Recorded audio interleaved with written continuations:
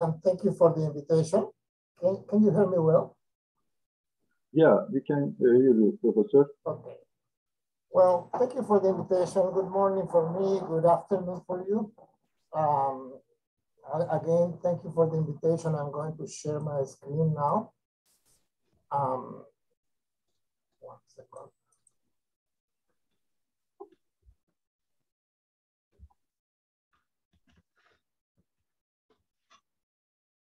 Can you see my slide? Yeah. Yeah, you can see. Excellent, excellent. Wow. And during the next 30 to 40 minutes, uh, I'm going to talk about a very interesting disease for people in the neurology and neurosurgery world. Um, but before anything, I really need to do a couple of disclaimers. First one is whatever I'm going to show you is not personal work we have a very, very large multi-institution, multidisciplinary network working in cysticercosis research that we call the cysticercosis working group in Peru. You can see a picture of the group in the slide. And this is all people from different backgrounds and uh, we have neurologists, neurosurgeons, veterinarians, epidemiologists, biologists, even crazy people doing mathematical modeling of transmission or vaccine development or modeling of molecules in, in situ. Uh, so it's all uh, a crew of crazy people working together and producing a lot of information on this disease.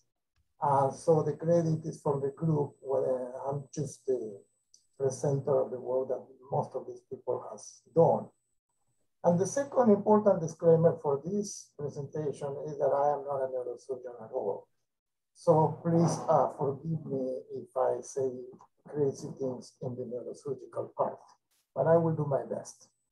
So I began by saying that um, cysticercosis is a very interesting neurological disease. But actually that is a wrong affirmation. Uh, cysticercosis is an infectious disease more than a neurological disease. And that has created a lot of confusion during the years because people was focusing on cysticercosis as a neurological disease when it's actually an infection. And as such, there is a huge spectrum that goes from exposure to the parasite without infection to asymptomatic infection, to mild infections, to severe infections, to death, including infections outside of the, of the central nervous system. So if you count the entire world, cysticercosis is clearly the main cause of acquired epilepsy. And by acquired epilepsy, I mean late onset epilepsy, beginning after age 15, 20, but also a very important thing is cysticercosis is present in all poor regions of the world because of the coexistence of pig raising, domestic pig raising, and poor sanitation. You can see in this picture five pigs in a village in the highlands of Cusco in Peru eating they're straightforward from the open sewage coming from two houses. Pure Muslim societies don't have cysticercosis.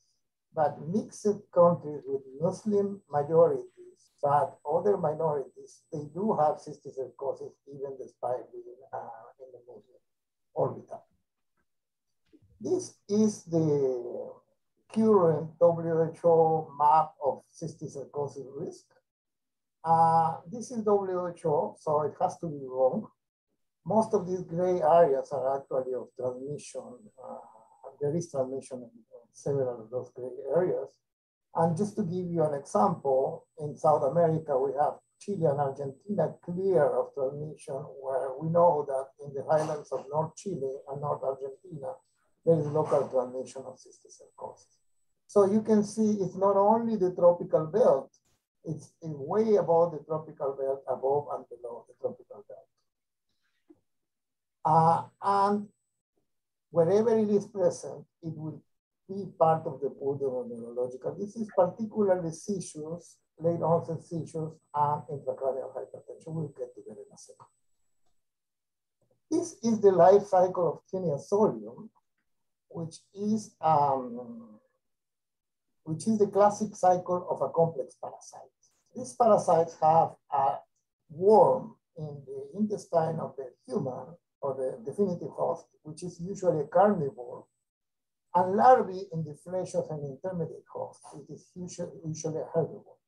So the carnivore eats the larvae in the flesh of the intermediate host and develop the tapeworm. The tapeworm expels eggs, infective eggs with the stools, and those go to the environment and the herbivore um, the herbivore gets infected by ingesting the eggs and developing the larva. So the definitive host does then makes teniasis, the intermediate host makes cysticercosis. And everything will be a happy party if we were not able to do cysticercosis. But unfortunately, in T. solium, unlike T. saginata or others, humans can be intermediate host and become infected with cysticercosis, not only with teniasis. A few pictures so we get acquainted with the enemy. The lower part, uh, the lower piece of pork, you can see it's filled with cysts. Uh, with the white dots correspond to the head of the parasite, which is uh, in the inside of the cyst. Uh. Here we have the cyst dissected and put in a petri dish. You can see these are bags of parasitic membrane containing the head of the parasite, which is the white dot. These are macroscopic, it's approximately one centimeter. And when this is ingested in the flesh, the head of the tapeworm gets out, evaginates, hangs from the intestinal mucus, and from this head of scolex, it develops a fuel tapeworm. The fuel tapeworm in T. solium measures between two and four meters. And a very interesting characteristic of the cestodes is that they develop as units of bricks or proglottids. So as new proglottids are formed at the neck region, the older proglottids get more and more distal. And as you will understand, distal proglottids are the more mature proglottids. Now, this is a hermaphroditic worm. Uh, so it has fully developed male and female seven, uh, reproductive system. And it lives in the darkness of the intestine alone with nothing else to do. So at some point, the worm gets um, excited and has sex with itself and gets pregnant. So the final proglottids are what we call gravid proglottids, which are these two in the right of the slide. And the gravid proglottids are completely occupied by the uterus of the parasite. What, why do I bring you all of this boring biology? Because in these proglottids, with the uterus and the eggs, we can have 30 to 50,000 infected eggs, each of which can become a cyst in your patient's head. So the transmission potential of this parasite is enormous. And the eggs, you may have seen this when you studied medicine. This is the picture of what you see in the stools. And this is electron microscope showing you a thick collagenous cover to protect it from the environment and the embryo, which is slightly larger than a red cell. That probably explains why cystic cysticercosis gets through the filters of the liver and the lung and gets disseminated to all tissue, while hydatid, which has a slightly larger embryo, gets mostly filtered in the liver and the lung. So this is the cycle again.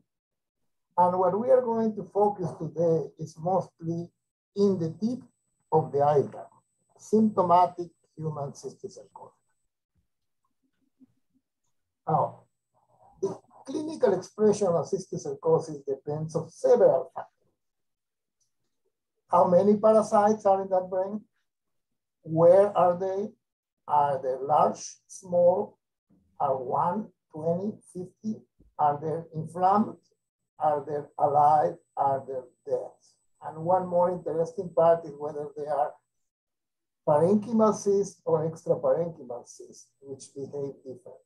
So with all of these factors, you can expect basically any neurological symptom. As I said a minute ago, the classical presentation is late onset epilepsy, chronic headache, and intracranial hypertension. there are two major types of cysticercosis. When the parasite is located in the parenchyma of the brain, its growth is restricted and it forms a cyst, a rounded cyst, which eventually it's detected by the immune system of the host, becomes a granuloma or what the literature calls an enhancing lesion, and then disappears or calcifies. And this may happen in months or it may happen after 10 or 20 years. This is the same thing with pictures. You can see the cysts here, an inflammatory nodule, and then the calcification. Uh, better resolution pictures. Here you see the scolex in the in the insular cyst and in the right uh, occipital cyst. And you can also see that the parenchyma around the cyst looks perfectly healthy. There's a great homeostasis between the parasite and the host. Here are a couple of small cysts in, on CT.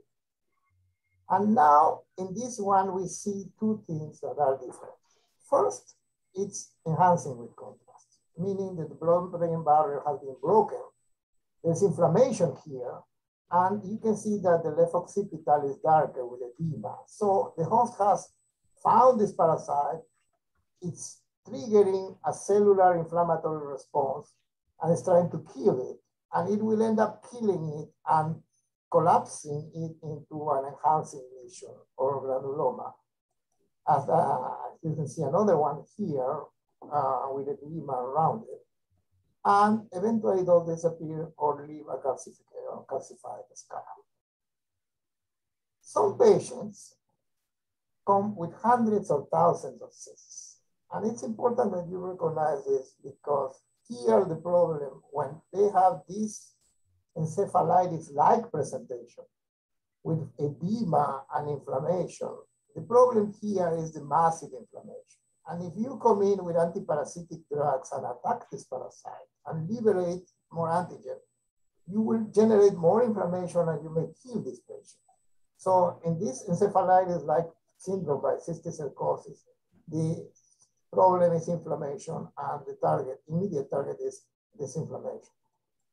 We also see patients with hundreds of cysts with very little traces of inflammation, living an almost normal life with a seizure uh, every once in a while, and these patients um, are probably those who survive the encephalitic, the encephalitic, uh, encephalitic uh, stage. So that's for parenchyma cysticercosis.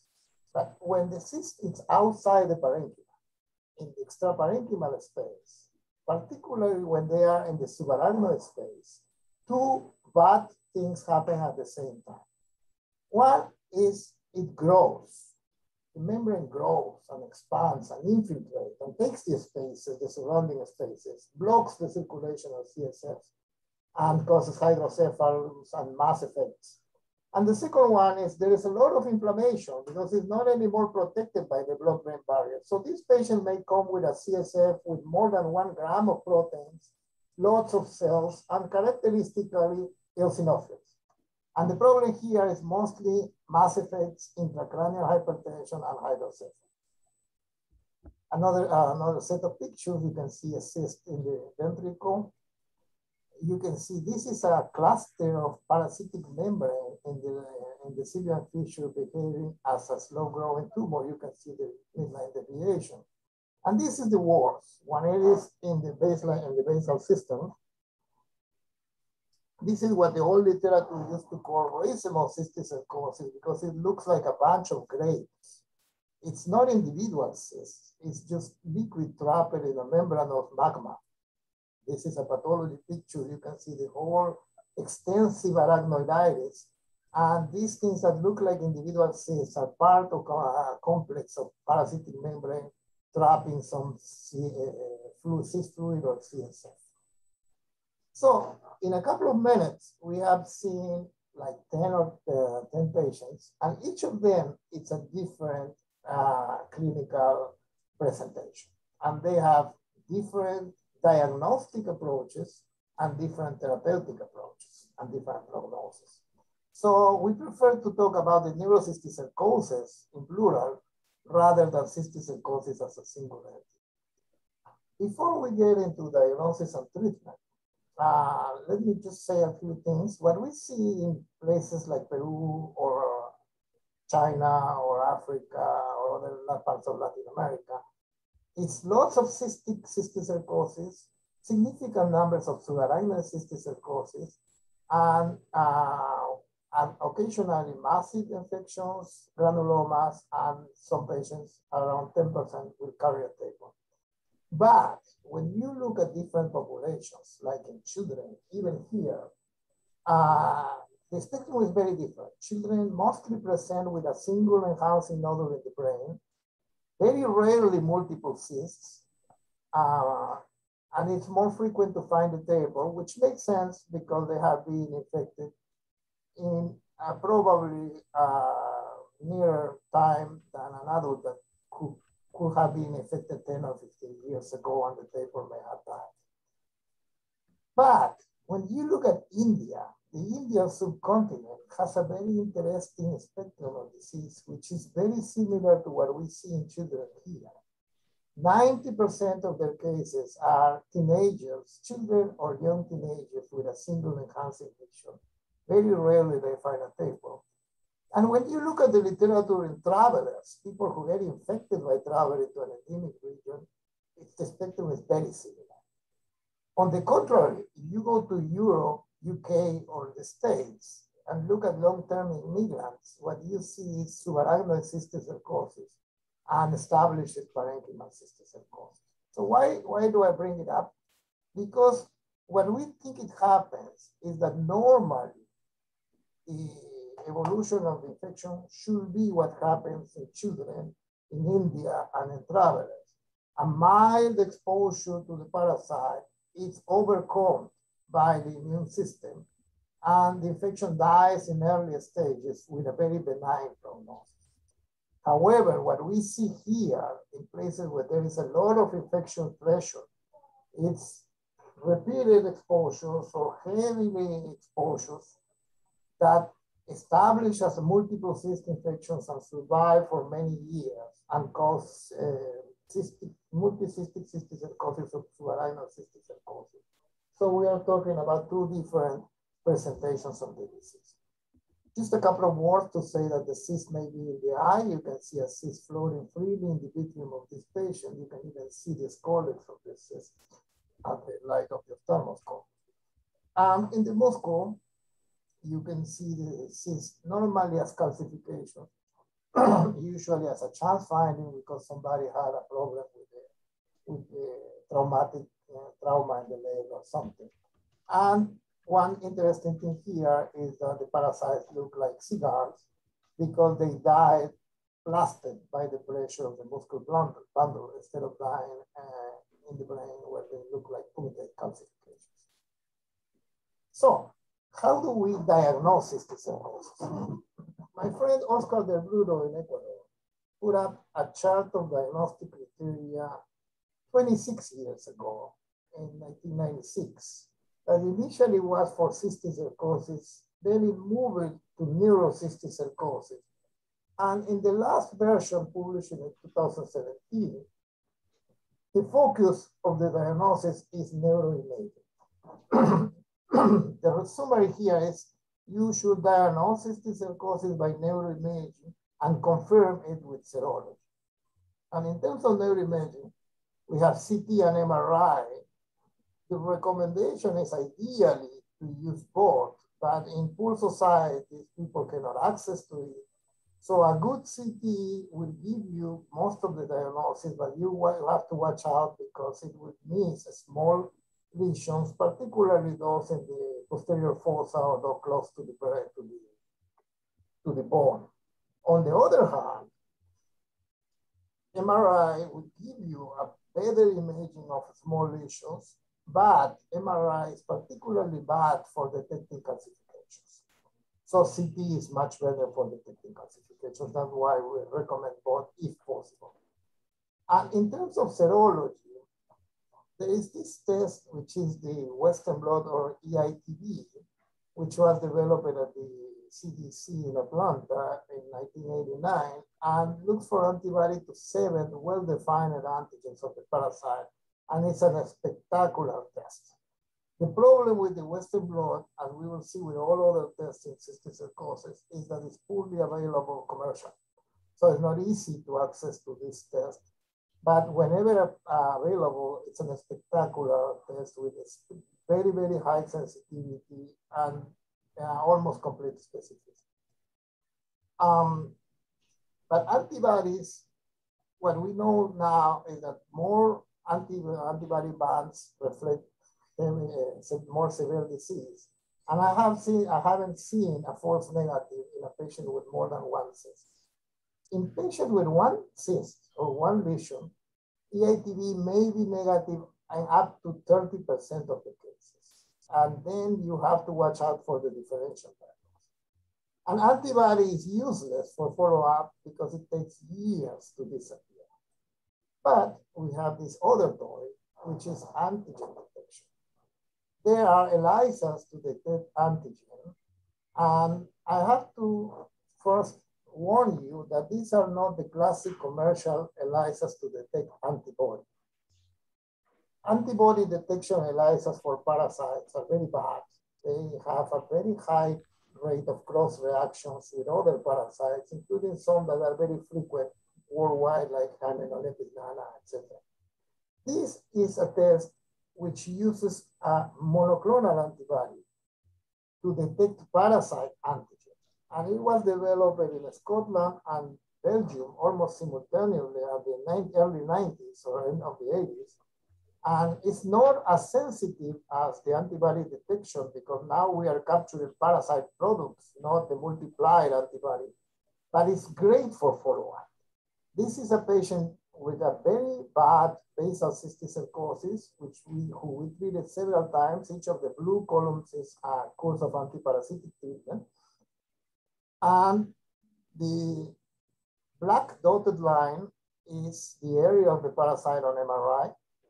And the blue line is composed by antigen detection in the serum, not CSF, in the serum of this patient. Every one of the archive samples was run, and we can see that antigen descends and drops, sorry,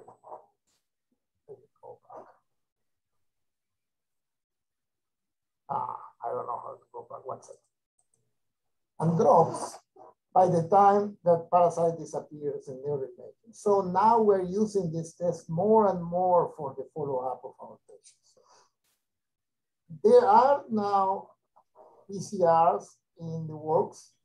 There's a promising report of subarachnoid cysticercosis, but so far, uh, sensitivity in parenchymal cysticercosis, where we have most of the diagnostic doubts has not been demonstrated. So again, cysticercosis should be diagnosed by imaging and supported by serology, and the assays of choice are Western blot and antigen ELISA. Again, also poorly available, unfortunately. And now we get into treatment. Treatment of cysticercosis is a passion passionate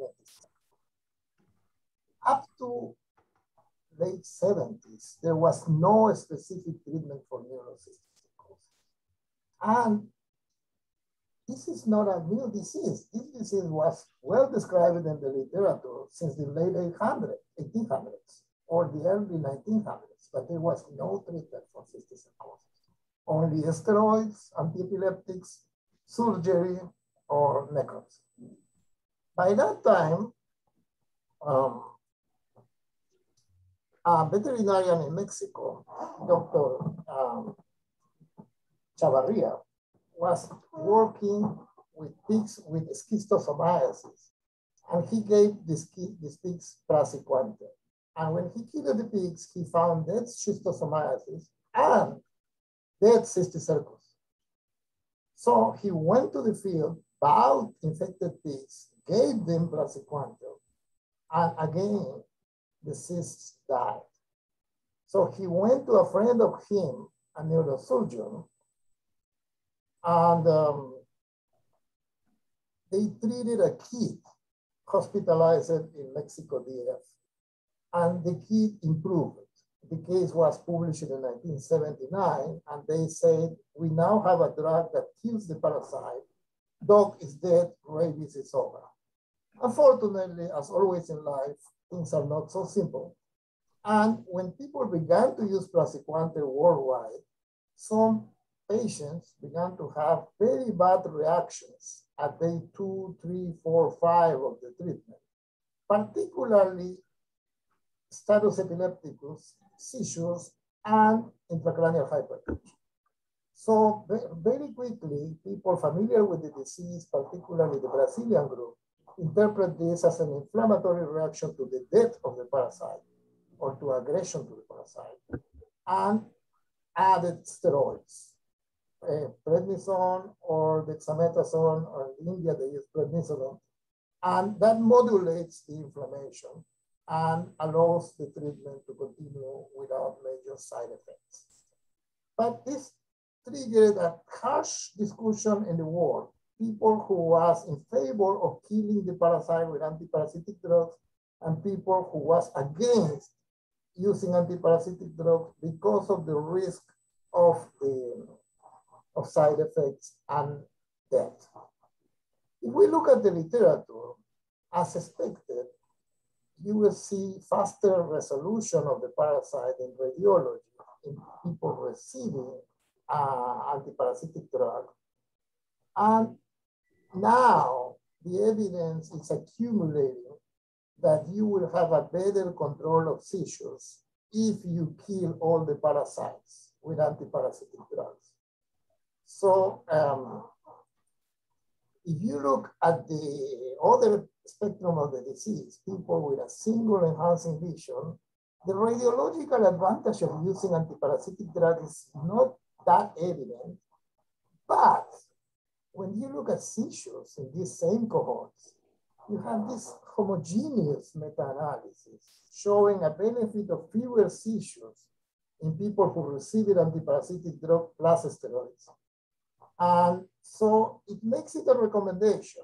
We don't really know whether this is the effect of immunomodulation by the steroids or antiparasitic effect by albendazole or praziquantel, but in general, these people, when they are treated, they have fewer seizures in the follow-up. So we now tend to think that most of patients will benefit with antiparasitic drugs, but it's something that you have to decide in a case-by-case basis. In recent years, we have done a few series of studies that are interesting also, adding praziquantel plus albendazole results in more killing of the parasites without increasing side effects. If we give more steroids during the initial weeks or months, we get a better evolution of seizures in that period.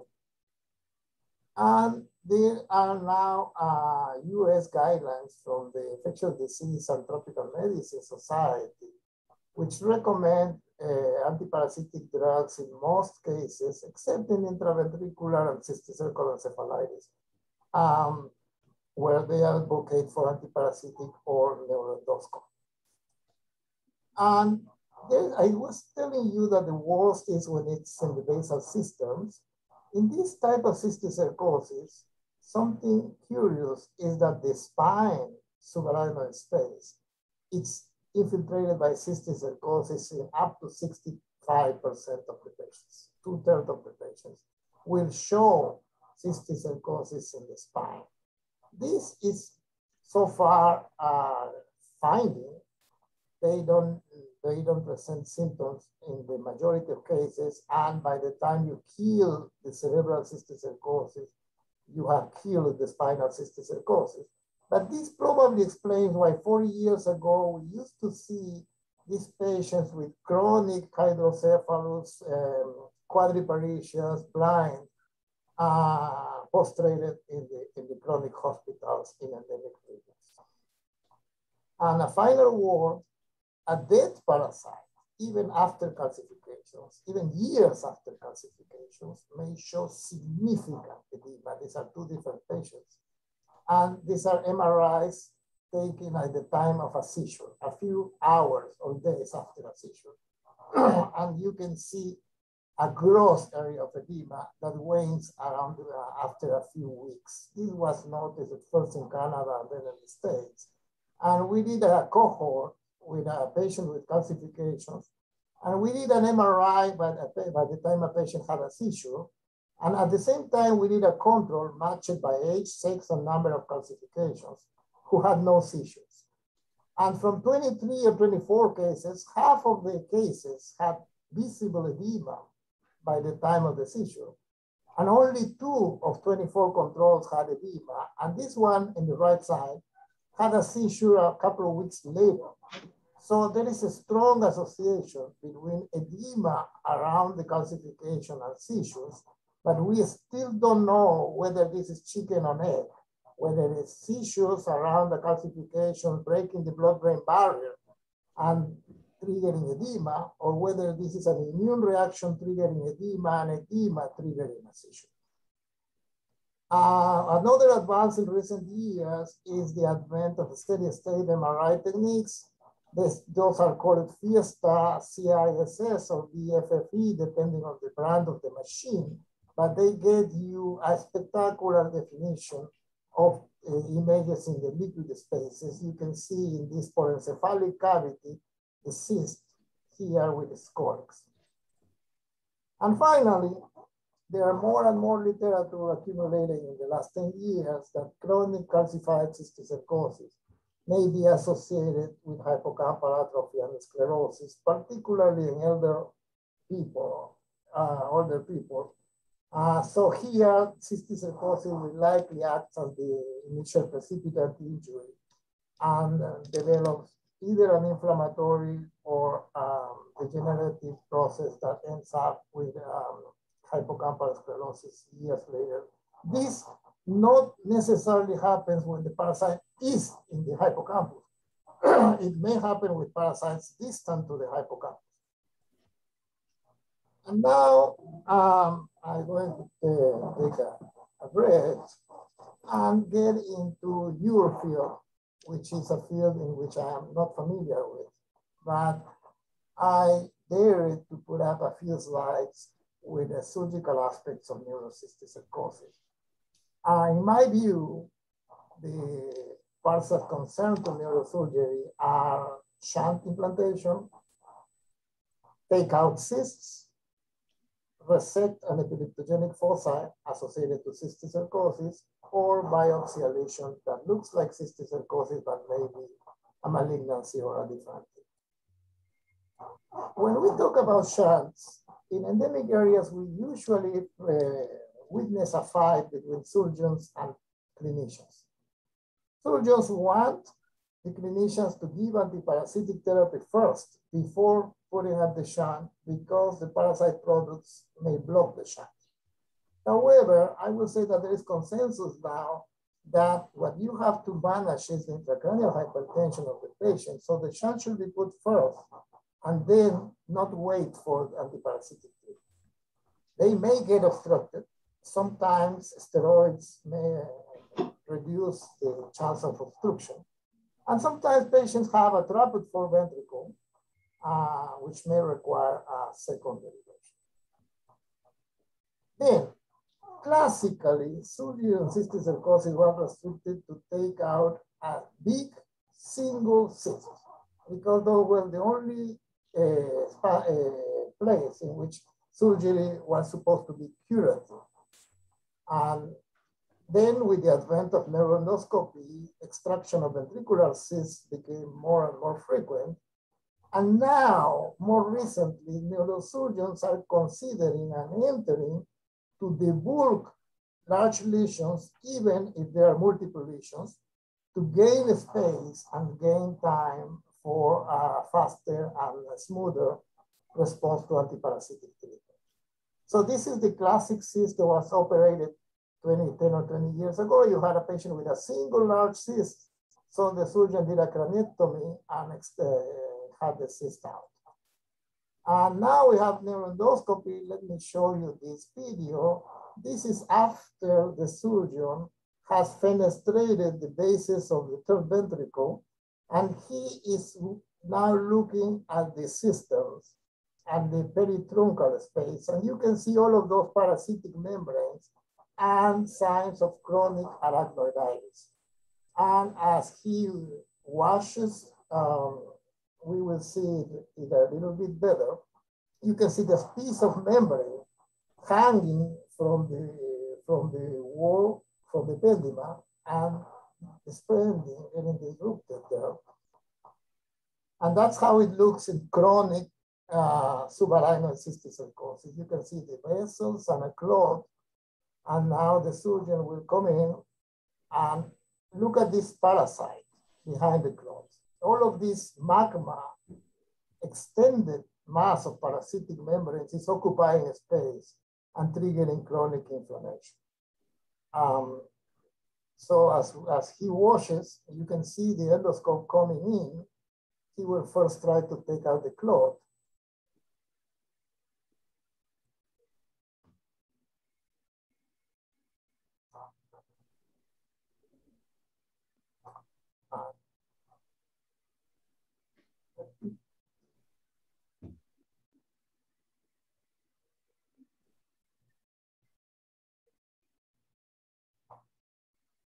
I of time here. You can see here, it's a beautiful view of how the subarachnoid cysticercosis looks like in real life. And now the surgeon will come in and pull it out with the neuroendoscope.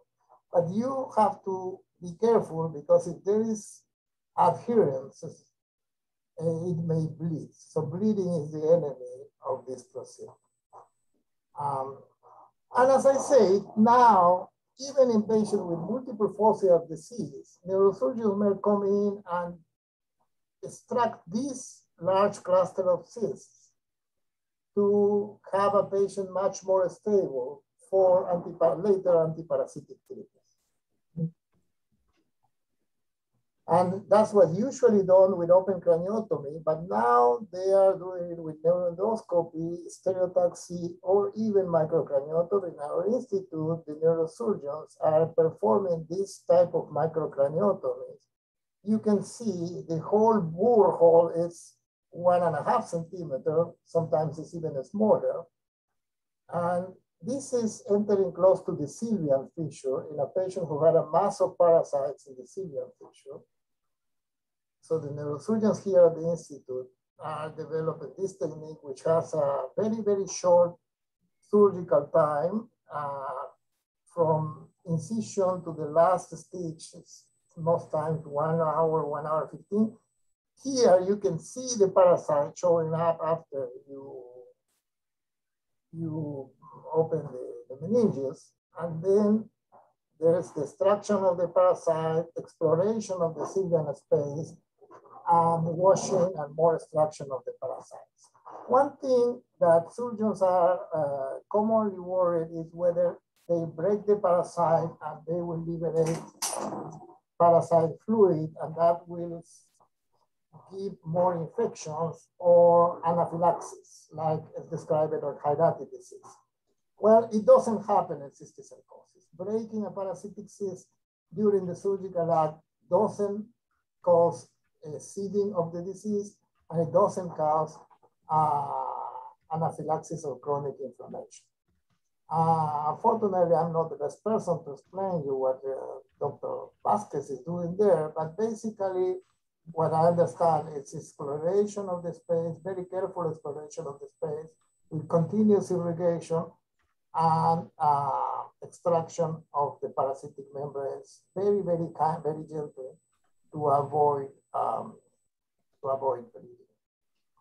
So as I say, there's more and more space for surgery in neurocysticercosis. Uh, and I hope in the following years, we will have controlled information on whether extracting these large parasitic masses will make the evolution of these parasites in the following months of year or in response to antiparasitic therapy better in terms of scarring, in terms of uh, residual hydrocephalus, or in, even in terms of response to antiparasitic, antiparasitic drugs. So you can see that he keeps exploring and he keeps finding more and more significant uh, pieces of parasite uh, in the in the sylvian spaces. Um,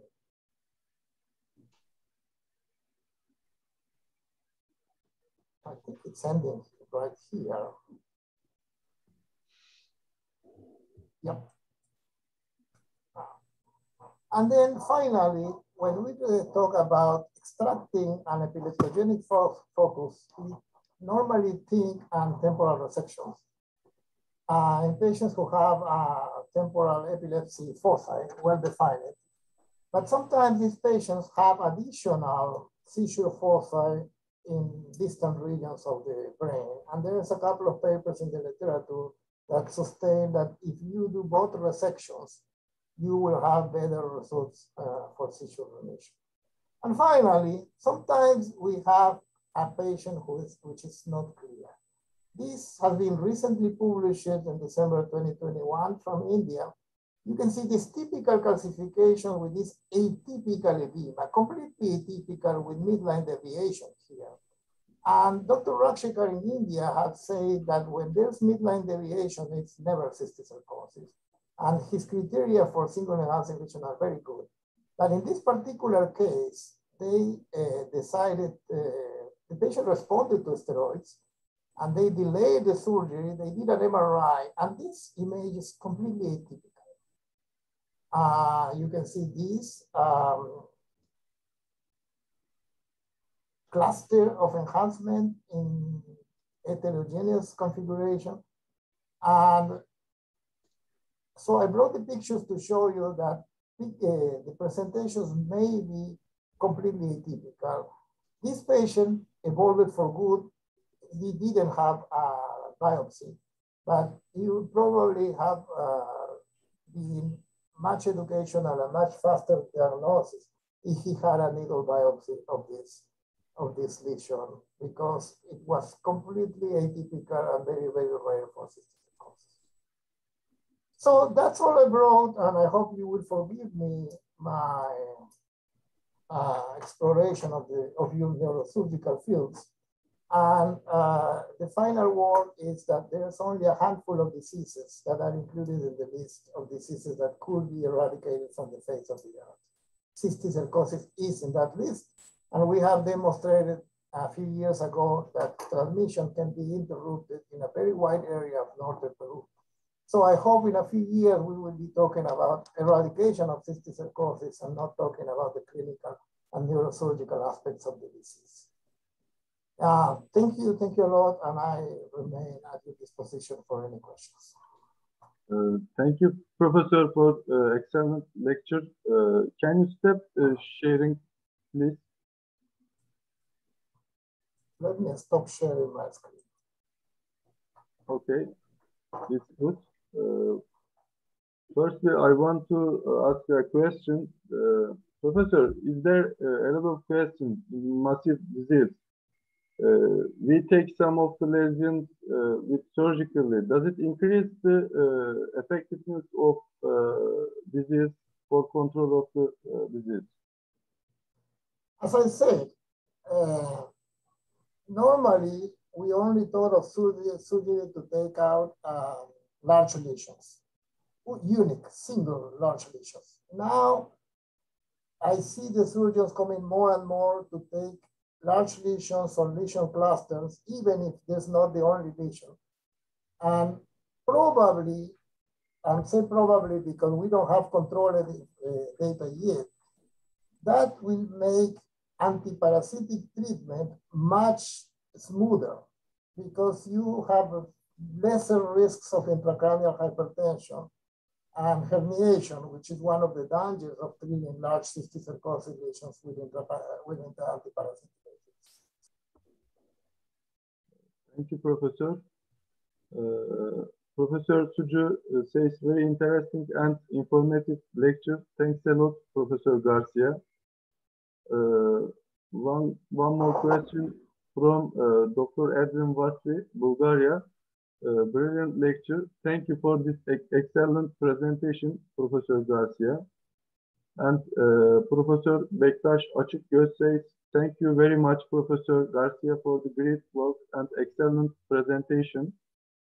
Uh, from Takashi Kon, uh, thank you for the lecture, uh, for the informative lecture. Uh, from Tokyo, Japan, uh, our hospital is close to Tokyo airport, so we should be aware of such disease, says.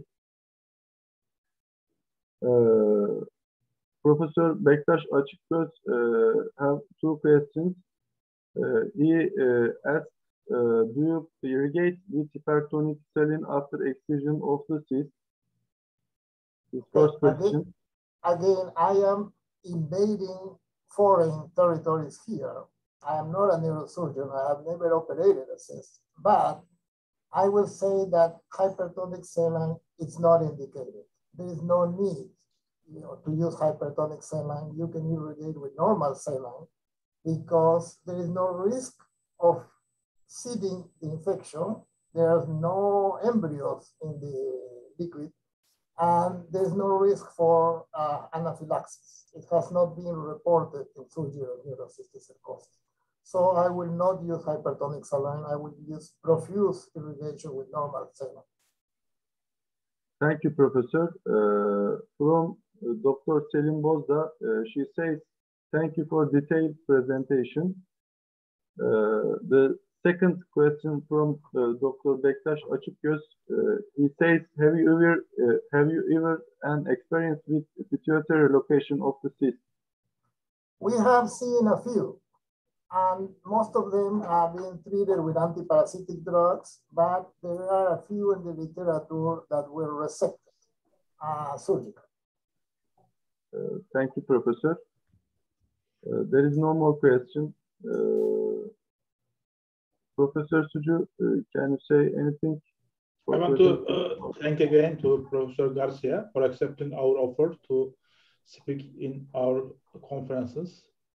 It was a brilliant, informative lecture. Thank you so much again, Professor Garcia.